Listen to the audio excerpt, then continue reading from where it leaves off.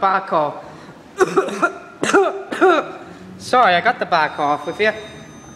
This is the elevator at the Tesco Extra Craigavon. It's an Otis Gen 2. You can see the Otis globe. Seven up to 1.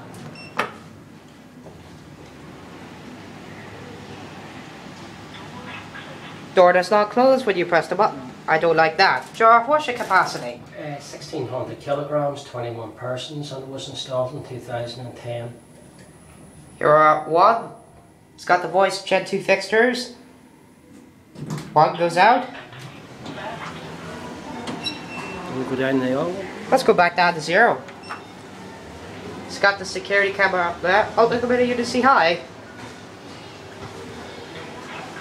Door does not close when you press the button. I don't like that. Now, YouTube user NIR Trainman just filmed this lift.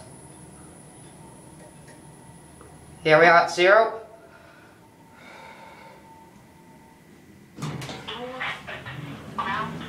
Set it up to one and try and get a different elevator.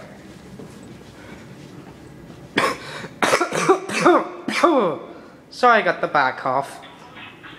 There goes that one. Now, let's call it.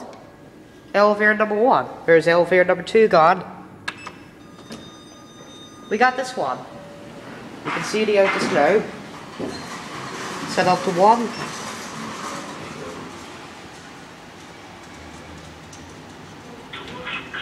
Door does not close when you press the button. I don't like that.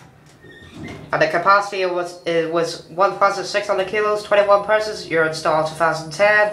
Here are one. Got the voice, Gen 2 fixtures. One goes out. Let's go back down to zero. And do our cab view. Door does not close when you press the button. I don't like that, so get as cab view. It's pretty basic Otis Gen 2. Look at oh look at it you see how you got the security camera, got the floor indicator. And there's our 1,600 kilograms, 21 persons you're installed 2010. Here we are at zero.